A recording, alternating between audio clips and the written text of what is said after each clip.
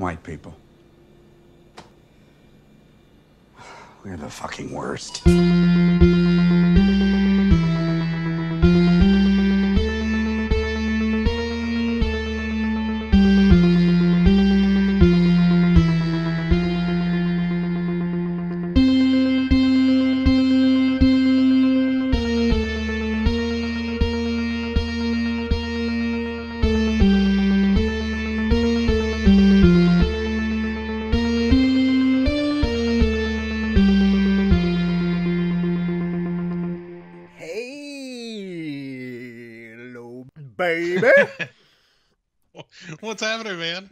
Excited to do this, man. Like I've, you know, like ever since it was like, okay, we're gonna do this. I'm like, I can't fucking wait to talk, not just about this movie, but like what what I got out of it and what it means to me, and and just do some politics catch up. That's that's one of my favorite things to do uh, on this show. Is I don't normally. Like I'm not completely upfront all the time with my politics, but on this show I'm like, fucking let that liberal flag fly, baby. this is the place. This is this is the soapbox. Yeah, yeah. And uh and I got shit to say. Good, because I like to listen. Great. We may have already started the episode. Holy shit. Before you know it, you know you're you're drinking after work, working at the car rental place in Mississippi, or you're Oh, in man. Staten Island, New York, Yeah. and uh, you just you wake up on a plane, maybe, or you wake up in the middle of the next episode of the Psychosemantic podcast. I am Daeron. Hopefully, you know that already. With me, once again, returning champion, Bo Ransdell. Thanks, man. Uh I'm yeah, I, again, I'm excited to be here. When I woke up on the plane, I thought, well, this is fucked up. And and then I got a free shoe. So um all it cost me was an eye. Yeah, I you know, it maybe it's worth saying this right up front is I didn't see this movie in theaters. The the movie we will eventually talk about this evening. And and the reason I didn't is because the rumor around it, the the buzz on the street was that it was a, a really toothless uh, sort of political horror film and and so i didn't watch it i was like well if the movie doesn't have a stance i don't give a shit like i i the the one thing i don't want out of a political horror film is no opinion at all you know like i'm not in the mood for an equal opportunity offender kind of thing I And- would, yeah. and but then when I saw the movie, I was like, oh, that's not what this is. That like, in I mean, kind of, sort of, but not really. Like the the ultimate philosophy of the film is not just, will you take a look at these idiots? I mean, it there's a, there's some of that, but I think there's a deeper thing happening in the in the movie as well. Um, and you know, uh, just to tip our hats here, uh, or mine in particular, the fact that Betty Gilpin is fucking amazing in this movie um, makes it eminently watchable. I like I've watched the movie twice in at least as many months now, and and both times I watched it, I was like, God damn, she is good. I like Glow. That she's in Glow, right? I'm not mi- mixing her up. she like i went through her her filmography and she was in stuff i'd always heard was good and never watched like glow um masters of sex she was in and i never watched that uh, a couple of other things that were that i was like i have just like missed her like a ship passing in the night uh so many times and so this is the first and literally only thing i've ever seen her in You may enjoy at least her character in Glow. I'm not a big wrestling guy. Like, I kind of stopped watching. I don't even know if you're going to get this reference, but somebody listening will get it. I kind of stopped watching around the time that Jake the Snake Roberts was having his poisonous king cobra bite Randy Savage. I uh, that vaguely rings a bell. I know all those names. that's around when I just kind of started fading away from the stuff. But I was very interested in Glow when I was younger, partly because I like to learn things. and partly it was because wrestling girls can you know be attractive. Uh, Sure. Fo- yeah, know? I mean, Foxy boxing has been a thing throughout history. Yeah. There, it's not like you don't have to d- dig hard to do the math on that. and there were some badasses and that's one of the things that i do like about the show is it's not just here's a bunch of pretty girls you know everybody like that but betty uh, gilpin is that how you pronounce her last name i haven't really said it I outside out loud I think so. Uh, that's how I've been saying it, and she has yet to correct me. she is welcome to she's welcome to call you you would give out your Your I, if she absolutely. She can call me and be like, you know, you fucked up, bitch, and then pronounces it correctly. Uh, that would be great. there's a boot behind every bitch that she says Oh my god. it's, it's Anyway. yes it's it's We'll like it. No, I get it. I don't know. There's just like a power in using a word that's used against you so often that I think uh, Crystal or Betty Gilpin really taps into in this. Uh, I think her character is so like fleshed out. It it's ridiculous how much characterization is even though you know almost nothing about her you kind of know everything Eh, you know eh, like the uh, the the movie was written by Damon Lindelof and another guy whose name escapes me right now but it was a guy who who wrote for um the leftovers and uh, some other stuff, some other Lindelof pro- projects as well. But um, it's it, like I think it is a, in addition to being an incredibly fun script, and I think first and foremost, I think this movie is out for you to have a good time watching it Yeah. and and and it the fact that it does that but also brings you this great character at the center of it and then happens to have a a message that i like because i agree with uh at the end of the day. Um you know it in a weird way seeing it for the first time yeah, i felt bad i hadn't seen it yet. And since then i've become a total evangelist for this movie where i'm like "Y- y- what you haven't seen the hunt? What the fuck is wrong with you need to see the hunt. And uh and, and so i've i've really turned a corner on it. But yeah i, I think you're right. I think there is there's excellent character work in this film and it and it surprises me how good it is Sorry, everybody, if you did not read the episode description or title, we and or listen to what Bo was just saying. I think you said the name of the movie five times. probably We are officially talking about The Hunt. Like you said, it came out. God, it came out. I think March thirteenth, yeah right before the shit went down yeah right before the shit went down. There was the controversy around it forever. Similarly, I thought it was going to end up being some. And I'm an easy sell for a political horror movie. I've seen President Evil twice. right well you know the first time it's just to experience and uh, it and the second time is to get the nuance Yeah, you got to get all those Easter eggs.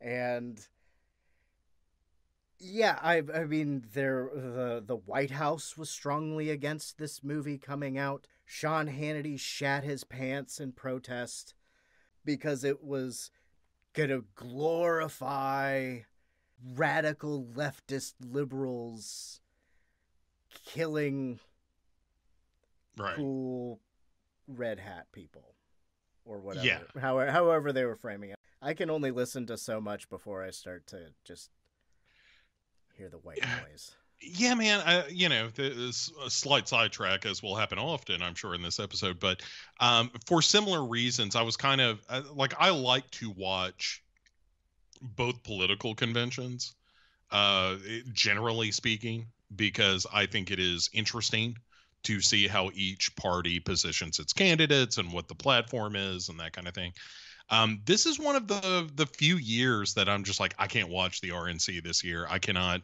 if it is going to be five nights of Trump speechifying. I just can't do it. Like I can watch somebody giving a speech about Trump, but it is very difficult for me to watch a speech given by Trump.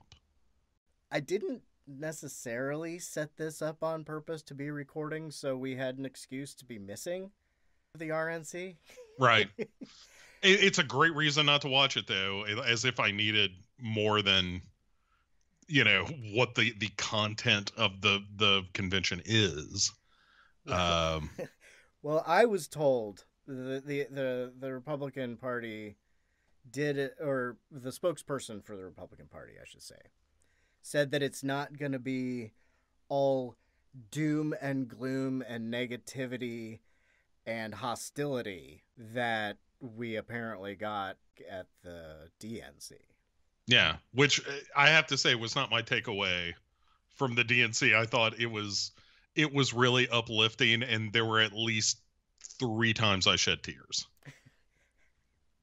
and the rest of the time it was kind of overly wholesome for myself. I, I was very surprised to see it described as dark and doubt. You know, there was like I'm proud to be part of the electoral process and and all this other stuff. I, I don't want to say overly wholesome, but man, that roll call uh, at the DNC was one of the like most patriotic things I've seen in years. And it like I I felt so genuinely uh warmed and and like is somewhat humbled by the scope of America that you see in that and the and the the just uh, the the diversity and I don't just mean like well there were they had colored people. I mean like the diversity of landscape and weather and like everything from that kind of blue gray sea of of of uh, the East Coast to Hawaii and, and and everything in between. And it really was meaningful to me when I watched it. I thought it like I've never really cared about the roll call at the at the either convention.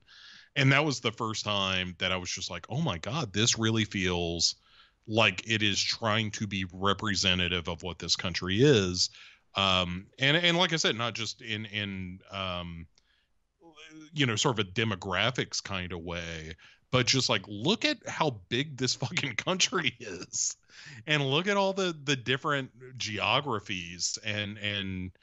It, I, I don't know. I thought it was really wonderful. I thought uh, that was really nice. But yeah, I don't know. I suppose that given Biden's speech about uh, him being, you know, a warrior of the light and and that we've been living in dark times. I suppose you could infer that that's a sort of a doom and gloom message, but also, you know, we're living in a country that has has fallen behind the rest of the world entirely in its response to a pandemic and and as such has caused, you know, incredible economic harm, incredible uh, uh, like a, a public health crisis that it would you know i mean like there's only so much you can do with a pandemic but you know you do something something and yeah. something right that's not uh worsening things even. yeah and or you know total, they i don't know i don't I, I wonder if complete neglect would have been better I, I mean, probably not right? I mean, because at that point, like it, it wasn't a total shrug. It was just this reluctance to treat it with any seriousness. And then, of course, a complete and abject failure to use the time that we bought ourselves in the quarantine to do anything like a responsible, you know, medical and federal response. But you know, as dark as the times are, I, I never got the impression that the DNC was just hammering home. Like it, like it never felt like you guys, you can't go outside anymore.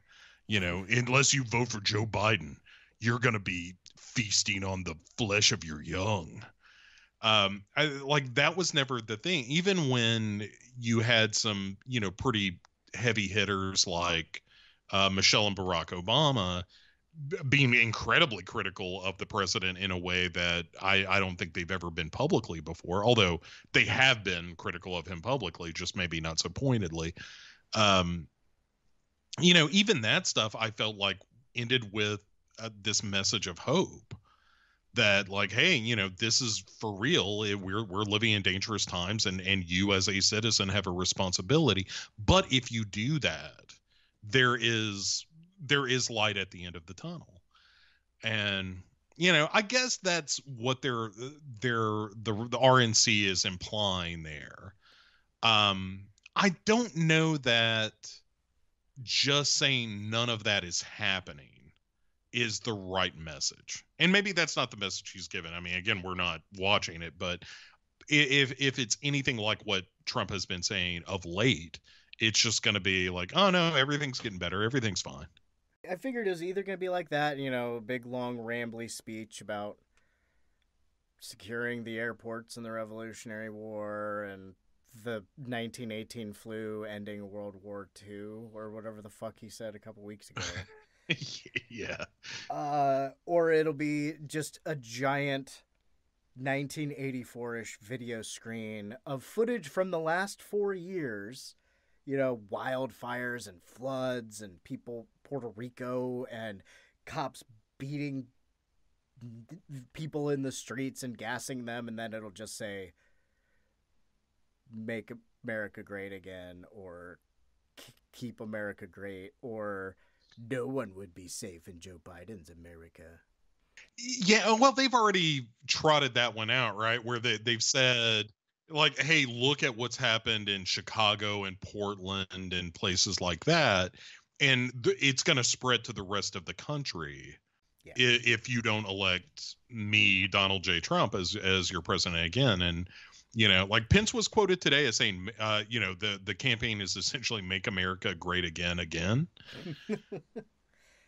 which is a quote that came out of that man's mouth, you know. But uh, yeah, I, I mean that that seems to be the Republican justification for another four years. Um, I I don't know how it's going to play. Libs.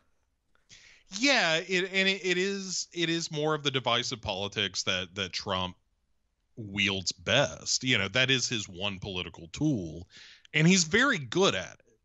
Uh, you know, I want to give credit where credit's due. Like Trump is great at drumming up his base into this, you know, foaming mouth frenzy at times. And it's unfortunate that that plays, but also at a time when when you are dealing with a pandemic and when you are dealing with historic job loss um, and and we are retracting from the world in a way that makes the world a scarier place you know? Like the less the less involved we are with the doings of the world the the scarier it's going to seem because we don't have any control over it. And so there's always going to be a segment of the population that's going to respond to an authoritarian figurehead as in that way like a, as a, a a safety net of some kind in a world that is this tumultuous. That's unfortunate but i think it you know psychologically it's understandable and trump just is a savant with being able to prey upon that particular like reptilian brained sort of thing. You know it's it's the amped up version of bush at ground zero saying you know soon they'll hear you too. And and, and saying like i you know eh, what he said in in 16 which was i'm the only one who can fix this. I'm the one who can drain the swamp. I'm the one who can bring your jobs back um you know m- making that case i mean having delivered on none of it of course but but he's going to say it again. And and the question is are people going to go with him a second time? Uh you know some for sure will but there are also some that voted for Trump because he said things like you know i'm going to bring manufacturing back to the midwest. Well when that didn't happen do they stick with it that uh, that's the thing that interests me about this election is are, are people going to change their minds about Trump. That like we gave him a shot. He seemed like an asshole, but we were willing to forgive that because he was going to bring back manufacturing. And then when he didn't do that, is he just then an asshole who let you down or do you give him another shot at it? You know, from a purely political point of view, that's that's the part of it that that kind of interests me as a political junkie. you know, as someone who looks at it purely as a sociological experiment. Um, as a human being, the thought scares the shit out of me. But as someone who has been interested in politics since Reagan, uh, the seeing seeing this warped version of Reagan play to a modern audience is really interesting to me. the one thing you can say about Reagan is he did a lot of terrible shit and his policies were fucking terrible and and and you know resulted in homelessness like we'd never seen and you know et cetera et cetera. A number of reasons that you can complain about about reagan's policies. But reagan always pretended to be the everyman president and and wanted everyone to love him. And that's the differentiator. I mean in addition to the fact that like you know Reagan was a governor and and had some idea of how how politics worked and operated.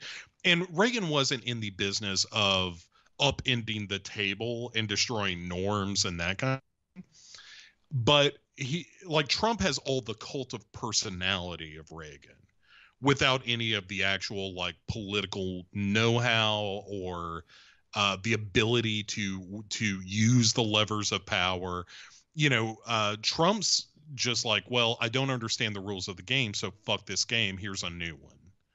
And and that's what he's been playing for 4 years where he ignores you, you know, things like the law and constitution and and shit like that. Um because he doesn't give a shit. Like that's not he that he he is in it purely for the the personality game, not not he has no political agenda. He just wants the power and to be loved. Yeah, and what to spend 400 years of a presidential salary at his golf clubs. Yeah, I mean, yes, he's lining his. You gotta pockets. bust the joint yeah. out before you burn it. Man, you know that's holy shit, man.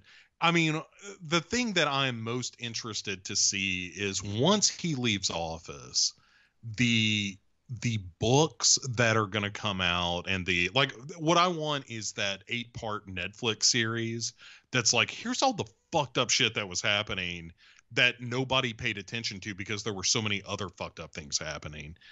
And I think so much of it is going to be that kind of thing. All the financial stuff, the you know diverting the planes in Scotland and and uh, all the people buying hundred and fifty thousand dollar a night rooms at his properties to get some time with the president or or whatever. And there's the argument that well it's both sides that you know politics just by nature is corrupt and i agree with that to to some extent but you know there there's never been a politician short of maybe spiro agnew maybe uh who has been as brazenly uh uh like opportunistic you know like spiro agnew was was taking money in the vice president's office uh, from from other people, you know, for political favor. So I'm I'm I I wonder if Trump has been that bold, and I would be surprised if he hadn't been. If it didn't affect everyone everywhere, it would be purely fascinating. Yeah, yeah. I mean, if the stakes weren't so high, like I would love to watch this movie without it actually affecting people. You know, like today, uh, uh, was it today where he said that they're not accepting new DACA applications, even though the Supreme Court ruled that you know stopping the program was was uh, outside the bounds of Trump's authority? He he probably said that again. He said it a week or two ago. Yeah, and you know it's one of those things of just like, you know, there there has never been a leader in my lifetime that's like, what did the Supreme Court say? Eh, so what about that? They don't like me. Right, right. Like it, just because they're a Republican majority and I put a couple of them on there, um, they they just don't like me for whatever reason. Um, part of the deep state. Yeah, holy shit, that deep state shit. Like that's, you know, I mean, this gets back to the hunt though, and and, uh, you know, maybe we should say what the movie is actually about.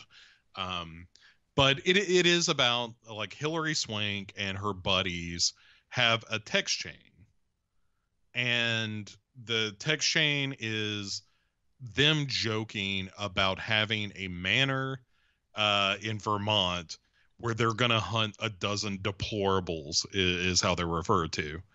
Um, what is it the the rat fucking chief like? Did you see what the rat fucking Oh, chief did today? The rat fucker in chief. yeah, Day ruined. yeah, right. Day equals ruined. Um, yeah, and it it's a it's a text chain that that pretty much anyone on the left has had with their friends at one point or another. And maybe not even just on the left, but uh, you know, it's certainly like the day after Trump got elected, I was so depressed. Uh, I, I was so angry and and lost so much faith in in just people in general and and my my attitude about it was you know how can these fucking morons you know elected how could they fall for this? How could they fall for uh, someone who is so clearly a shyster? And and i was uh, like i said i was real down about it and and and it really it broke my heart in a lot of ways. Uh just it, it revealed the country to be some something other than what i thought it was.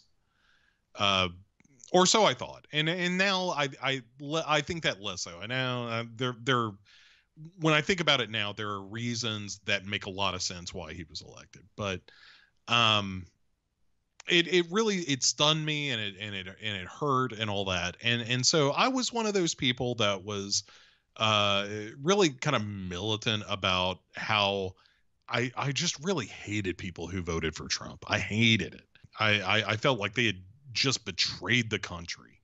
And uh, and so anyway, you take that attitude and you drop it into this text chain with a, some very wealthy people in in the film The Hunt. Um, and so we see this text thing happen, and then we move to a an airplane where uh, Dennis from It's Always Sunny in Philadelphia is being real smarmy as he normally is with a flight attendant. Is that the 1907 Heidsieck? Yeah. Uh no, it's just champagne. Oh. Um I I also like uh when he's like so well do you have anything that's I don't know, maybe like a grilled vegetable like a sort of a Mediterranean thing? and when she when the stewardess is like, you know, uh we don't have a full kitchen here. We just we just have what we have. he's like, ah, well shit. Um I you know that that kind of privilege is is is what the the movie is presenting us with. And then as uh as this is happening, out stumbles the this rather heavy set dude uh named Randy. And Randy has just woken up in the back of the plane and they realize like, oh shit, this guy woke up before uh he was supposed to. And so uh one of the dudes just stabs the guy in the neck with a ballpoint pen. And then out comes Hilary Swank. Although you don't see Hilary Swank's face until what the third act of the film. Yeah. Uh, even and you hear her a bunch, but you you don't see her. Um, and she comes out and just stabs the guy in the in the face with her very high heeled shoe, uh, putting him down. It's a real like whoa fuck, and like there's a real good gory eyeball stuck to the spike of the heel kind of thing where it's like oh shit this movie's gonna get rowdy. And and i i knew from there i was like okay this might be something. And then we cut from that to sort of the thrust of the film which is it's a bunch of people kidnapped and brought to somewhere mysterious uh with gags locked onto them and they are going to be hunted. Uh, the the titular hunt. It is a bunch of left wing uh, liberals who have a lot of money and have gotten fed up, and they are uh, they are hunting a bunch of right wing uh, folks who have posted shit on various social media. One guy has a podcast called like the Confederate Files or something. Yeah. oh, the Ethan Suplee character. Yeah. The Crisis Babies. right. and and so that's the the the setup right is that you have uh these highfalutin liberals with all their money have kidnapped all these right-wing folks and are and set about to murder them uh what they fuck up in the process though is that they have brought betty gilpin um crystal may uh to to this location and she is fucking murder on two legs. And so there's also here's an, uh, a thing that I like that the movie does. I like the Emma Roberts head fake where you know, like you kind of start on when you get when you first get to the I almost call it an island because it's kind of the most dangerous game in a lot of ways, but you uh you begin with Emma Roberts who wakes up in the woods finds out that she's gagged, sees Betty Gilpin for a second, who picks the lock on her padlock holding the gag on, uses the same uh, needle that she's taken from a name pin um, to figure out where North is, thanks to a leaf in the water. And then she fucks off and uh, and leaving behind Emma Roberts, who then goes to this clearing where uh, there's a big wooden crate uh, which when you open it up and a bunch of the other people have gathered uh, in this clearing uh, that have been kidnapped and they open up this crate and inside is, are it's a bunch of weapons guns and knives and shit like that uh, as well as a, a key to the gags uh, taped to the door and so everybody kind of frees themselves of the gags and they start to arm up and then fucking mayhem ensues as they they are shot. One lady falls in a punji pit uh, in a really effective moment. There are landmines and grenades, all kinds of crazy shit, and it is wonderful and gory. And I love everything about this scene. And also Emma Roberts, uh, who we started with, gets her head fucking shot off by a 50 cal in uh what about the first 10 minutes of the movie uh, i'd say that's about 10 minutes because i um squealer on the gets it on the plane about five six minutes in yeah i mean this movie doesn't fuck around. Like you get to murder and mayhem right away. And um yeah and it's a like it's a great gory scene. M- my favorite moment of the whole thing i think is when um the the kind of heroic dude uh, who helps the girl who falls in the pit of spikes out when he's like, "All right, I'm gonna get you to safety," and then he steps on that landmine and just looks up like, "Oh fuck!" and when it explodes, you see the girl's legs go flying from the like from the like waist down, so that the legs are connected.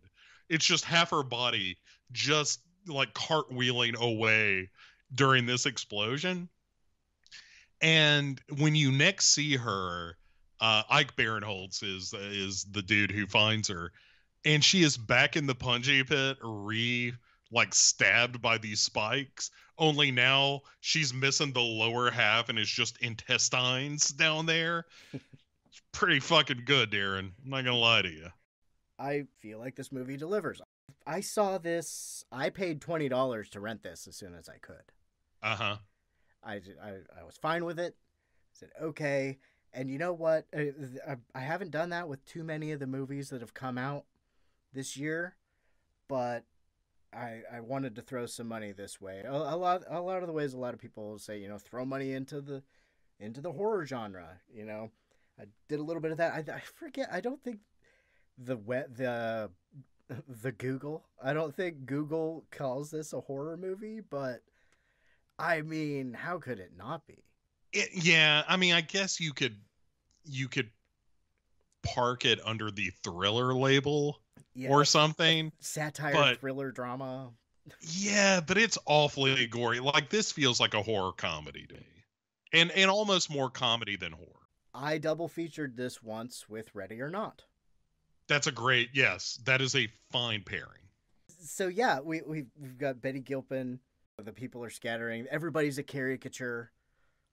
Yeah, like Ike Barinholtz is a real Second Amendment guy. Like as as they run away from the initial killing field, it's him a lady who I like to think is a closeted lesbian. When you see her later, she's uh holding a sign that says "Don't be gay," but she has the most lesbian mullet I've ever seen. I think she's called Big Red in the in the credits. Yeah, and uh anyway so it's it's her it's ike barinholtz it's another dude.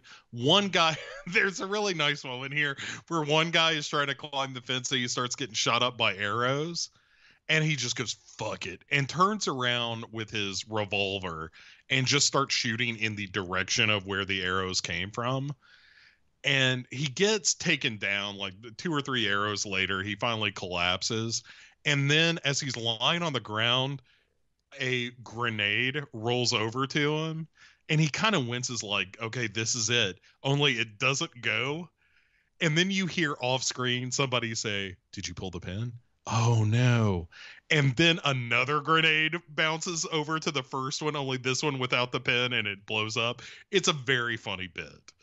Um i mean it's darkly funny for sure but it's very funny um and and so like the the three survivors of this killing field because the movie does a nice job of making you forget like oh betty gilpin you saw her for a two seconds early on and then she kind of disappears from the movie for a little while. And so our three you know survivors of uh of the initial uh murders make their way to a convenience store run by Amy Madigan and an old man. and I look, it does my heart good anytime I see Amy Madigan because I flash back to how good she is in Field of Dreams. But they are um, a super liberal couple who, uh, like, uh, Big Red gets poisoned by some donuts. Um, they throw uh, some kind of poison gas grenade that takes down the other dude, and then they shoot Ike Barinholtz with a sawed-off shotgun, and then start cleaning it all up. And then they have this whole conversation about like when you can use the word blacks and um, how how terrible they are. I, they say it on NPR, which is made up mostly of yeah, when the guy goes, white people, we're the worst. It's man, I got such a good laugh out of that. That is such a great like jab at just self-hating liberals. I loved it. Oh, I loved it so much. And and then finally into the movie proper comes Betty Gilpin, not just dropping needles onto leaves and she rolls up into this movie man and it's just like her eyes are always moving. She's just taking everything in and she orders a pack uh, or she orders. She asks for a pack of cigarettes and um they they hand her the cigarettes and she, there's this whole to do about like oh i don't have any money and she has some money in her sock she's like you know for emergencies and hands it over and she says, "Now, where did you say I was again?" And the the whole gimmick is that they're telling everyone it's Arkansas. And then Betty Gilpin just grabs Amy Madigan's face, jams her down into the uh into the countertop, knocking her backwards. And then she just starts fucking laying waste to the old dude, shoots him with the sawed off shotgun from under the counter. And then says, uh, those are European tags on those cigarettes. You fucked up, bitch. And murders Amy Madigan in gold in cold blood. It is one of the most satisfying moments I, have seen in a movie in some time. I love it. I, I love her shooting Amy Madigan in the face and telling her she fucked up. And now I think even though that the movie has tricked us before, we know we've found our hero. Yes, yes. And and so the movie is kind of her adventure trying to get you know out, out of this situation into safety for the most part like um you know I, I not to go scene by scene or anything but like there there's a to do with like she runs into Ethan Suplee and she overhears some stuff on the radio, so she's starting to get an idea of who's behind this. and there's some business with them taking a train and and running uh, like finding a car that has uh muslim refugees in it and ethan suplee wisely sniffs this out and he's like no there's no way that's true like what are the odds oh and these are all crisis actors. This is where he calls the baby a crisis baby. And you know like yes they're all stereotypes for the most part. Um but it's you know it, it's both sides. You know like the, the the liberals are just as much stereotypes as the conservatives are in this film with the exception of kind of the two main women who are very much their own people and Athena Uh, and Crystal. Athena and Crystal, yeah, and Athena, of course, is is Hilary Swank, um, and so it the movie is kind of the the journey of Betty Gilpin to this final confrontation with Athena, and along the way, there's there's a terrific scene where she murders all the other liberal bleeding hearts who have come to kill conservatives um where they have kind of holed up in a bunker. In finely pressed fatigues. man. That that kerchief the dude's wearing. Oh, it is god damn it is so good. All the camouflage they're wearing and stuff i mean it's just it's so clearly an affectation. Uh, uh like this is something they would never never never wear except in a situation where they're hunting human beings. Um th- thanks to the training of some national reservist. Oh it's so good. I'm in the shit now. That's a good way to look at it. Um, yeah, and she just like when she first goes in, like uh, they throw a a, a pig down the- these steps to distract all the liberals, uh, and then she comes down the steps and starts with "Hey, bitch," and then just starts shooting everybody. Um, some highlights here: her fight with the National Reserve guy is really good. And there's one dude that she is fighting with a rifle or fighting with over a rifle. And he yanks the clip out of it and gives her this like real smug smirk like aha i took all your bullets. And she eases back uh the the slide on the on the rifle to show that there's like a bullet in the chamber and then she gives him a look back that's like eh, you know you kind of fucked up there I just need one. Right. And then just murders him. She kills one dude who runs away by shooting him with a 50 cal. There's the woman who uses the bow and arrow that uh somebody that she's with a guy named Don and she says, "Look, you want to ask her any questions? I know you were real upset when I killed the last one." and and he's like, "Why are you doing this?" And uh and the the girl that they that uses the bow and arrow says uh because Jesus told me to. And Betty Gilpin says, uh now do you think that I should show you any kind of mercy just because you're a woman? And the girl goes, "No." And so Betty Gilpin just puts a bullet in her head. Just immediately shoots her. It is fantastic. Uh, and then, like you said, there's the conversation with the uh, the National Reservists where they have this whole back and forth about, you know, like she was in Afghanistan, and this is the point too, man. This is like where you get the real nice character moment, where Betty, and it's the moment I fell in love with both this character and Betty Gilpin as an actress for being able to pull this off. Where she says, "Hang on, let me get this right because I've got this in my notes." Uh, yeah, here we go.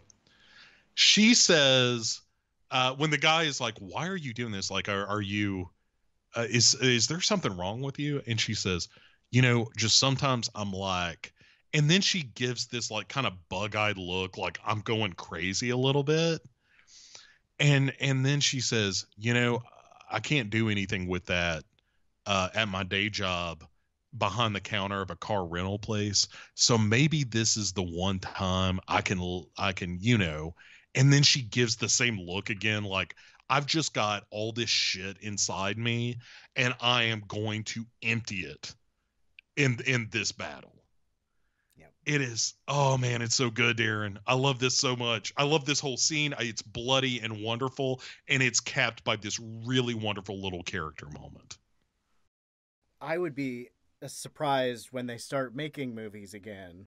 I hope that she catches on to some of this stuff because she's I mean she's great. She's really good in Glow. She plays I think her character wrestling character's name is Liberty Belle and she's all about America. and uh you know her girl that she's known really long time plays the Russian type character.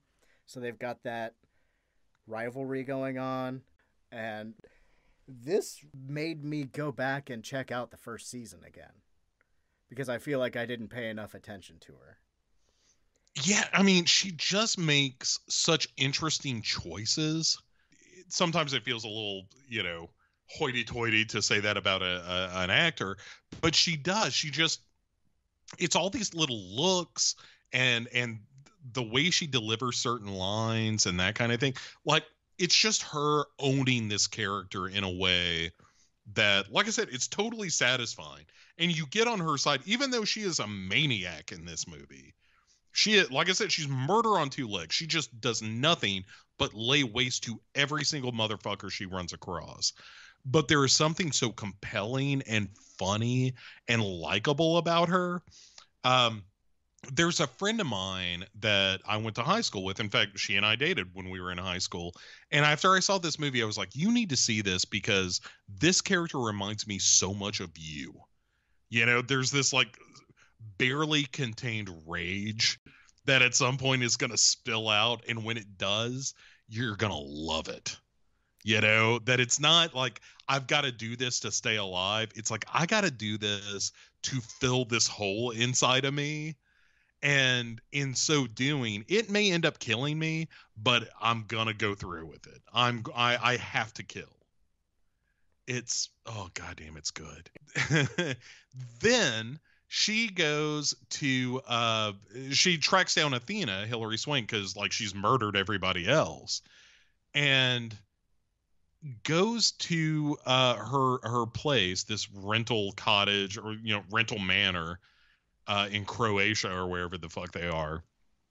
Um, and Hilary Swank is like gives basically the James Bond villain speech. Here's why I did this.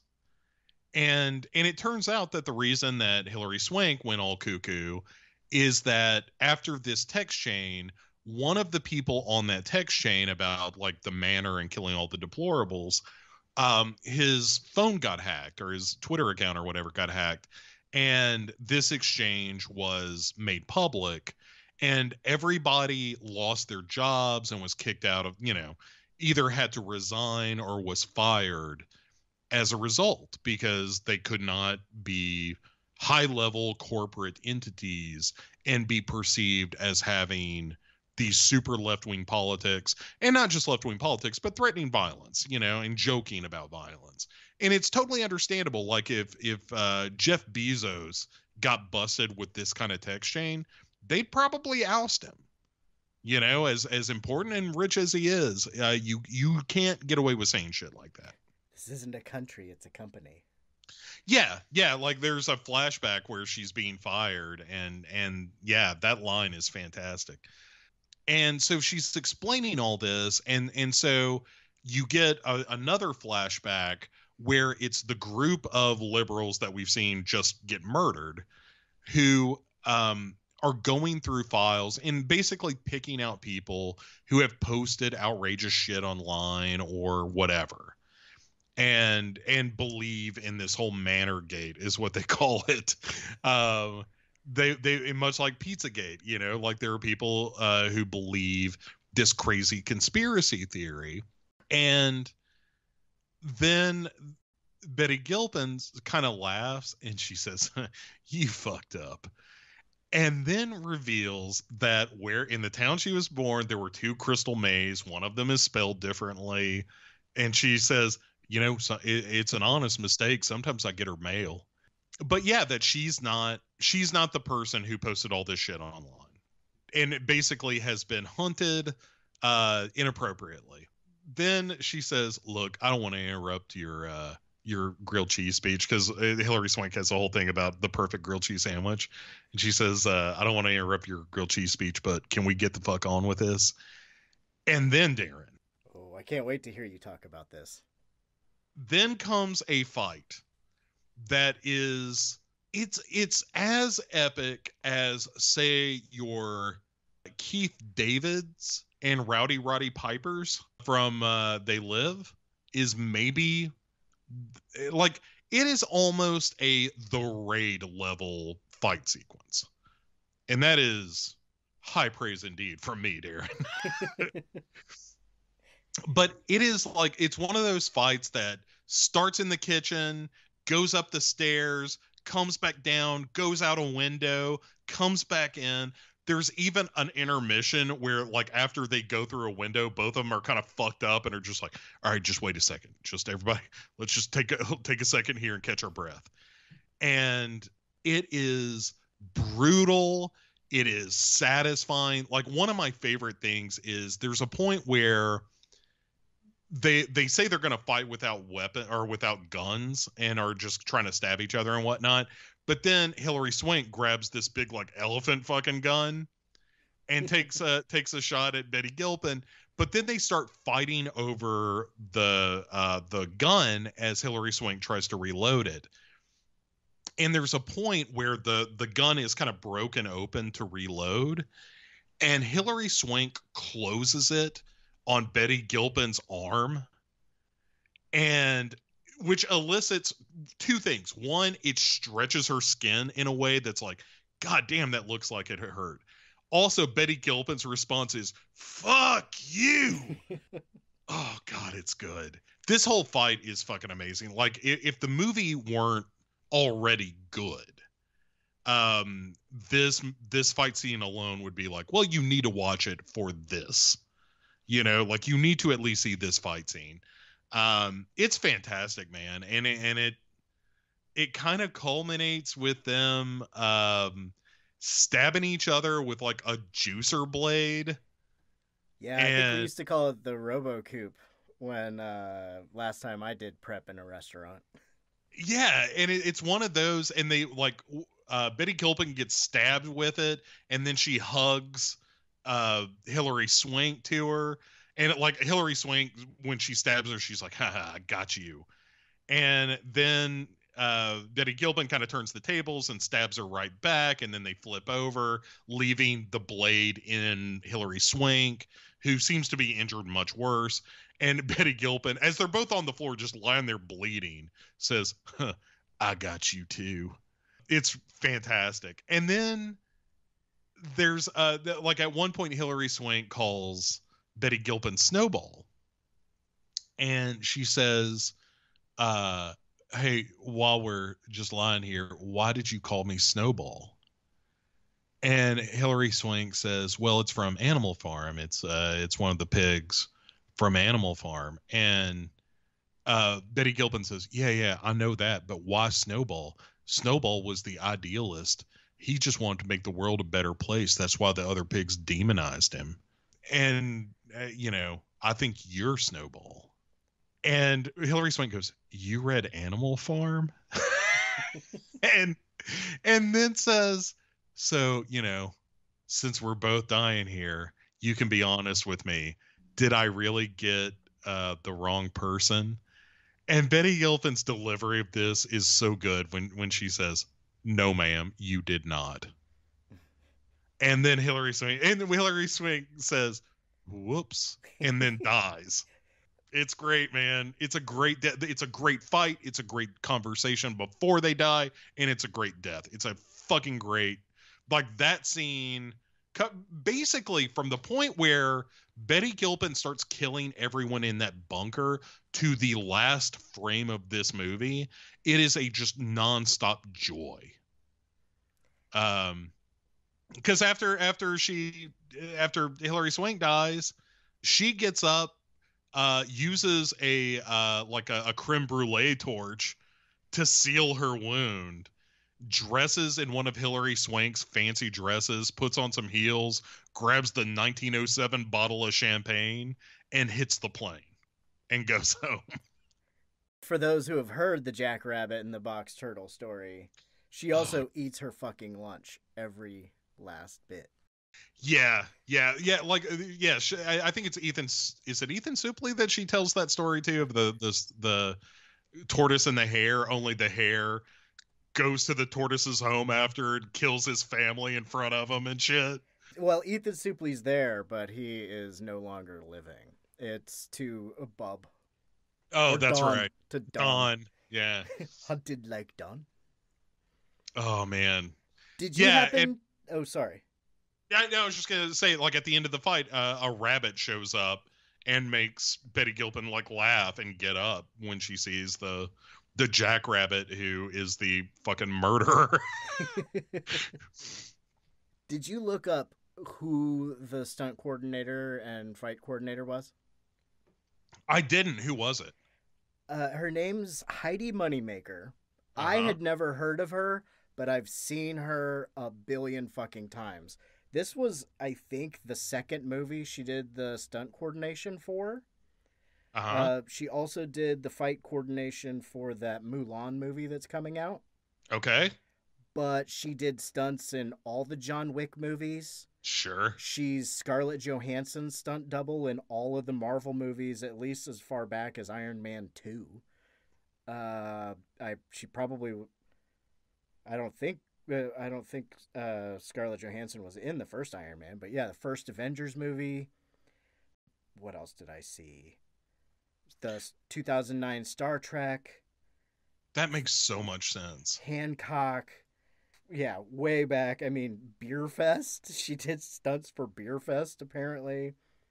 Mr. and Mrs. Smith, National Treasure. I mean, she's been doing stunts for fucking ever. And yeah, she did the fight coordination and the stunts for this movie. It's fucking outstanding. Yeah, and uh the they did almost all of the fight scene themselves. They barely had any stunt doubles. And you can very much tell. Like the, like the camera does a nice job of letting you know like, "Oh no, no, no. This is them." Um there are a couple of times where you're like, "Okay, that almost clearly was not Hilary Swank." But um yeah, most of it like it feels there was never a point where I was like, "Ah, that's a stunt man," you know, or stunt stunt woman. Um it's just like it's so well done. Uh, Craig uh, Zobel, Zobel, Zobel, one of the two, um, is the director of the film, um, who is, uh, geez, wh- he directed like a really good Westworld episode. Um, he d- what was the movie he did that I can't think of now? Um, hang on, I will, I will find our our friend Craig Zobel's uh, film. It, there was one, uh, Compliance. Oh, was the one. I never saw that one. Yeah, and that's a pretty good movie. And then he did Z for Zachariah with uh, Chiwetel Ejiofor. I feel like I saw his name attached to American Gods at some point.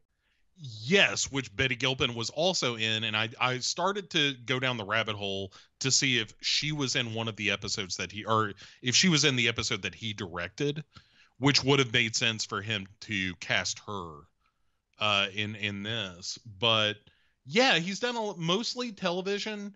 Uh also directed some Iggy Pop and and the Stooges videos, which, you know, fucking right on. Yeah. One might say that Craig Zobel has a lust for film. Here comes Craigie, yeah. it's got 35 mil. Technicolor. Anyway, um, yeah, it's the pigs. uh, I got a million in budget. Gonna leave me alone if I stay under budget. yeah, and that's kind of the you know it's it's the love hate I have with Blumhouse is that they're just like ah here's three million dollars see what you can do, and and sometimes that's great like you know the Invisible Man and Get Out and stuff like that and this and then sometimes you get Fantasy Island you know? It's a real crapshoot with those folks but um, yeah, it's hard to believe that Fantasy Island and The Hunt both came out from the same production company in the same year. Um, one of them is fucking dreadful, and the other is one of my favorite movies I've seen in the past couple of years. Uh, this, I mean, this honestly, The Hunt is on my short list for the best thing I've seen this year. Um, and eh, and and I guess maybe I should get into like what I drew from the film that makes me love it so much. Um, before I do that, though, I'm gonna run and pee real quick. So hang on one sec. A few moments later. So what? What I like most about this movie, and again, uh, you know, I, I said this up front, but I, I like I like the movie because I agree with it, and I think that the movie's complaints or the complaints that received for being kind of toothless was because it wasn't taking a left or right position. It was in that way it was kind of an equal opportunity offender and and just took you know let's face it some of those jokes are low hanging fruit but not a lot of not a lot of movies make it. So I, I i think it was you know kind of brave uh on that level. The other thing is i think what the movie is ultimately saying it is it, it comes down to the snowball thing right? Like if, if your idealism is pushed to the point where you begin to demonize the other side then that creates a toxic situation where neither side is advanced and all that's left is just you know murder and mayhem that as soon as you start, you know, like uh, for uh, uh, for Hilary Swank and her pals, they became what they beheld, right? Like they they you know, there's this really funny back and forth where uh, Hilary Swank is like, and then they thought that we had this manor and we're hunting people down, and Betty Gilpin is like, yeah, you were, and she's like, no, but I didn't do it then. They, you know, like I did it only after they thought I did it. And she's like, I look, I just yes, you're doing it. What do you like what do you want? And and to me that is the real like poison of our current political climate is that from both sides it has become so utterly tribal and so utterly uh, uh, uh like there there is such a a venom uh, when when it comes to anyone else's beliefs, especially um, a contrary political belief, that all that's left is the mayhem. You know, like there's no there's no discussion, there's no changing minds, there's no um there there's no compromise in any of that. It's all just you know i'm going to own the libs on one side and and they're deplorable on the other and i know it sounds like it's a cliche to you know use that deplorable comment but let's be honest that came from the presidential candidate in 2016 called a segment of the population deplorables um, and that is no better and no worse than you know the people on the right who who say that you know, godless socialists are are going to come take your guns. Neither of them are true. Neither of them are neither of them reflect the reality of the situation. I would um, I would be so excited about the Joe Biden that the Republican Party says Joe Biden is. Yeah, I have to say, yeah. if he was a crazy radical leftist that's gonna, you know, end police brutality and I forget all the other fun stuff that they everybody says everybody that doesn't right. like him says he's gonna do. No police, hates God, hurts God. Will end you know, God in America. Yeah, that kind of shit. Um, but it goes back to like even during the Obama presidency, you know, I used to have the conversation all the time where people would be like, he's just a socialist. I'm like, I wish, I wish he was. I'm a democratic socialist. Barack Obama is a centrist. Yes. Um, yeah, like I think he's a good president at the end of the day, but he he doesn't necessarily reflect my my more extreme views.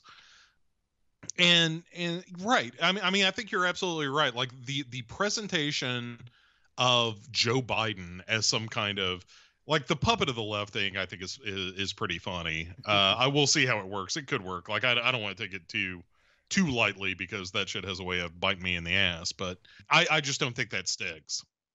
I was I was drinking confidently on election night, and then I began drinking in sadness. Yes, right. Like as soon as Pennsylvania went, it was like, oh fuck, we are we are in some trouble here, folks. That was the point I just turned it off and I was like, you know what? I'm gonna go to bed and I'll wake up in Trump's America tomorrow. But yeah, like Joe Biden is you know, th- there are plenty of things that you can say critically of Joe Biden. Um, I do believe that he's a decent guy at heart. Um, I do feel for him. Like, I don't think you can be a person who, you know, lost the majority of your family plus your adult son and not have some measure of compassion. And I'll tell you, here's a here's a moment I, I teared up at the DNC. It was the speech uh, that the the kid gave who was the stutterer. Oh, right, the the high school kid, right? Yeah, Or junior and high, high school. Yeah, maybe junior high. Maybe He junior seemed high. young, but everybody does to me these days. But, um, but yeah, I mean this this kid who had a stutter and got on, you know, national fucking television to deliver a speech is like there's something heartwarming about that to begin with, and then when you realize that, um the reason he's doing this is because the the presidential candidate and if you haven't seen it go back and watch because it was caught on film the moment where joe biden met this kid uh, if you haven't seen that video it'll it'll break your heart in the right way all over again where joe biden like hugs the kid and is like look you're a strong kid you're a handsome kid don't let this define you I, look i work and this is what he says he says I work with about 15 stutterers regularly. Is it okay if I call you? And then he goes, Hey, dad, is it okay if I call him? And I mean that. Is it okay? And his father's like, Yeah, of course it's all right. And like, you can argue all you want that that is cynical politics, that he is doing that for the optics. To which I say, even if that's true, that is far preferable to the the optics on the other side which is is so much more like isolating and and so much more fearful like yes i will take a disingenuous nice guy over a completely genuine asshole any day of the week. And uh you know again like i uh, there are plenty of criticisms of joe biden that are, are completely accurate. I have plenty of them myself. He is not my dream candidate. Uh i think i've said it before maybe even on this show i was an elizabeth warren guy um i was ride or die for elizabeth warren. It, it it hurt when she got out of the race. I thought she was the most qualified intelligent person on that stage. Um but uh you know, I mean, uh, like I said, I'll I'll take a guy, I'll take the old man who is trying, you know, like he fucks up and says some dumb shit all the time. But the one thing I will give Joe Biden is that I think he's trying like he is of a generation that never thought they were going to live in a world where you know gays could get married. And there were you know uh like the the culture has changed so substantially during Joe Biden's lifetime. The fact that he is as progressive a politician as he is is fucking remarkable and the fact that he he has shown that like ever since getting the nomination his platform has shifted dramatically to the left to make sure that he shored up that end of the party. Again, you can call that cynical politics. I say, who gives a shit? That's still the most progressive candidate we have ever had in the history of this country. And and, and I any any progressive, any liberal that doesn't vote for Joe Biden is just being either either selfish or willingly ignorant. And and you know you can you can do the both sides are terrible. Both both ends of the political spectrum are bad. You know I, I i my argument against that is and remains like look at what has happened over the past four years. If that had been a uh, a hillary rodham clinton presidency do you think we would have built a wall do, or tried to? Do you think we would have stopped daca? Do you think we would have handled the uh, pandemic this shittily? You know like all of those things would have been substantially better than what we had with Trump. And if you think that four years from now, if we elect Trump again, that things won't be substantially worse than if we elected Joe Biden for the causes that I think most of the people who listen to this show believe in, then who do you think like do you think Trump's going to somehow circle his way to progressive? Like he's going to go so far right he's going to end up on the left? You know what that is? That's fucking nazism is where where he's headed. Now that I don't have to play to my base, I'm gonna Right. Now that I don't have to do uh, fucking shit to make anybody happy or comfortable, you know, like uh you know, the the the backpedaling that he's done on just some of the pandemic stuff when he says something fucking crazy and and there's at least a little bit of pushback and he and because he wants to be reelected he'll he'll kind of bend to the will of like science and reason but only when he has to only when he feels like it's it's politically advantageous to him. And again i you know whatever complaints you have about about joe biden or the democratic party or whatever i i think that you know if you believe that you know something should be done to address the the uh, racism in this country and and and economic inequality in this country and and uh, you know the growing health crisis in this country um, if you think that donald trump is somehow better an alternative than joe biden i I, I mean I, I i just can't reason my way through that. And and the notion that maybe we should just abstain because they're both it's the lesser of two evils it's like well fucking welcome to the real world everybody. Most of the time it's the lesser of two evils. Have you been a person for long? And yeah sometimes you you got to hold your nose and pull the the ballot or pull the lever for somebody that isn't your ideal but who the fuck is? Um you know like hey if, if I keep saying this. If if everybody who believed in Bernie and and I like I would much rather be supporting Bernie Sanders right now than Joe Biden if, if push came to shove. But if everyone who who bitched and moaned about Bernie Sanders getting the shaft had actually gone out and voted for him, he would be the nominee. You know, all these fucking Twitter assholes who who want to talk about how they're not going to vote for anybody because Bernie didn't win. You know, just grow the fuck up. Sorry. I, I just it, it pisses me off so much that th- there's this like selfish, childish, petulant. If I didn't get my way, I'm going to take my toys and go home, and whatever happens to the country happens to the country. That that kind of attitude drives me so fucking crazy.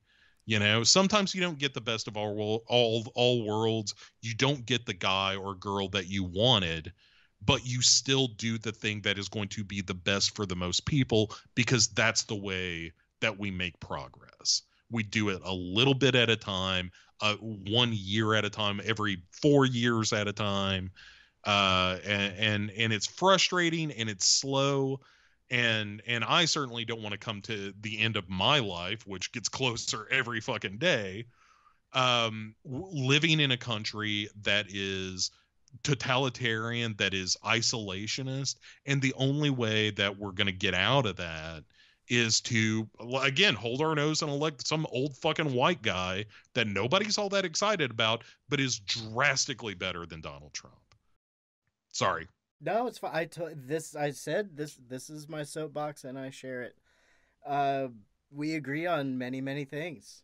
It is so fucking frustrating that I feel like my entire voting life in a purple state, or I, I don't know, it, could be red, and I'm living in denial. But you know, Columbus, Cleveland, and Cincinnati tend to go blue, and you know, like our our city government is almost entirely Democrats and independents. So we've got a good Democratic Socialist Party here, not a lot of good candidates, or, you know, not a lot of good positions.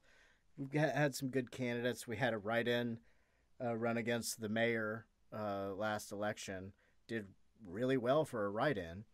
But it can feel so frustrating to always have to plug the nose, vote for the old fuddy duddy. Mhm. When it see when uh, you know like this this time around, I feel, and yeah, I I'm sure some of this is sour grapes, but I feel like they the Democratic National Committee is trying harder to get the handful of undecided Republican voters and not going hard for the people that they expect to come along with them anyway. Mhm. When and I never got I was never actually actually I got shouted out at by like a you got to go with the party uh, person. You know, you just have to deal with it. He's the most electable person, but you have to do everything you can to help this person because he's not as electable as I said he was. But it it, it can just get frustrating. I will say that. Yeah, of course. I mean, there is no doubt about it. Again, let me let me sing you a song about John Edwards, um, who at the time when I was when I was a young man uh, was you know progressive. He was the guy who who made the the two America speech when he was running for president. Looked like the next Kennedy, and that turned out couldn't keep his dick in his pants Like the next Uh, Kennedy. Like a Kennedy, except you know he kept it under wraps long enough to get elected. But uh, but yeah, I mean, yes, you're right. It sucks.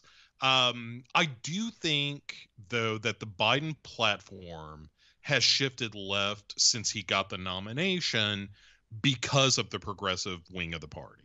Like his stance on healthcare now is way more progressive than it was when he started. I will give. uh, yeah, I I will go. I will I will go with that. I think that I mean you're right that it would be great to have a a truly progressive candidate that was unapologetic that didn't give a shit about the middle but then you have to start thinking about what it takes to win and you know do i want do i want joe biden to uh, pander is the wrong word. Cater, maybe, because pander makes it sound like you know he doesn't really want to go there.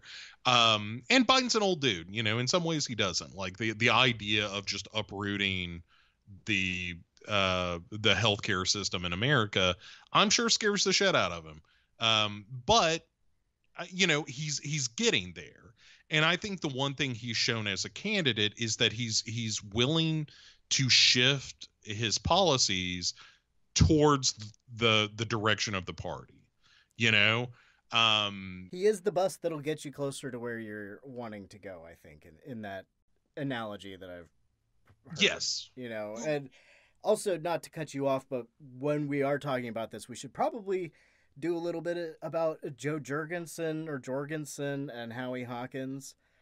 Uh, I just have a little something to say about each one of them and get your thoughts on that because sure sure you know, with the third parties, I feel like it's always a, a little bit more so with the age of information where it doesn't cost so much. Yeah. But I, you know, when I was coming up, I felt like every presidential election, you found out that there was more than two parties. But other than that, you didn't really see much down down the bench, or how, however they say it. You know, it not so many governors, con- eh, Congress people. It's kind of a monopoly of the two parties and everybody needs to work on it a little bit. But I, I, we, we, I'm sure we both know some people that are into Jo Jorgensen, Jorgen, Jorgensen, right jergens hand lotion Yeah. son who wants to have have the healthcare system as it is right now regulated less, who wants to take funding out of mental health care, who wants to let the free market fix all the problems. And uh, some other, I, I did one of those I stand with quizzes or whatever where you answer up to a hundred fucking questions on political views. And I think I cut six percent or twelve percent agree with her, and mostly it was just about drugs and lack of war. But her stance on healthcare is terrible, and Mhm. I think she's in like most libertarian presidential candidates, except for Vermin Supreme, are into private prisons. I don't know if she is or not, but I've I've seen her name tossed around. I was like, yeah, well, you know, she she stands for things, and it's like, well, I mean, I don't know. I mean, she's not Trump or Biden, but I know that you probably don't like her platform on healthcare. Yeah, I'm like I'm just not a libertarian in any any way. I think that's horseshit. I because I believe in government, right? Like I, I believe that government is there to help the people. And you know, this libertarian, like, you don't tax me, stay out of my life. It's like, well, how the fuck are you going to get roads built? How are you going to get schools built? How are you going to fill them with teachers? How are, how are you, like, all that kind of shit? You got to take back a lot that got built up with the things you're trying to dismantle. Right. Like I mean that's the thing is the reason that there's so much like bureaucracy and red tape and and winding roads to get things done is because it's fucking complicated.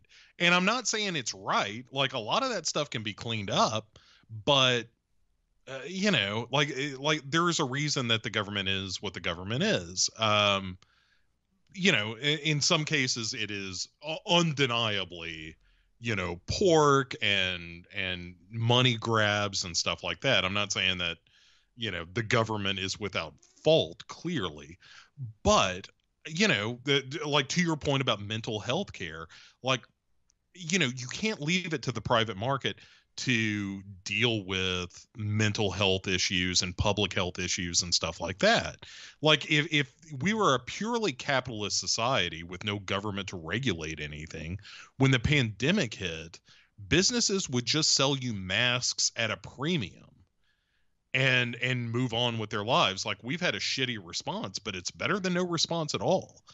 Um, I I, I firmly stand against deregulated commerce.